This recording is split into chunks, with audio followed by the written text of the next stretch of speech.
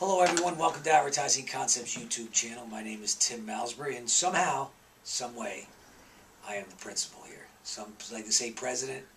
I just like to say that I work with a talented bunch of people here at Advertising Concepts. But I'm also proud of the fact that we just celebrated, although we haven't done our celebration yet, of our 20 years of business here in uh, the Hudson Valley. And I say the Hudson Valley because we are an advertising agency that does traditional media, but not just traditional media. Some of you might wonder what is traditional media. Traditional media could be radio, television, print, uh, outdoor. When you drive down the highway, that's what outdoor is, or on the side of buses, uh, direct mail. Um, but we have become very, very knowledgeable in the execution of social media. And our entire staff here is very involved with social media.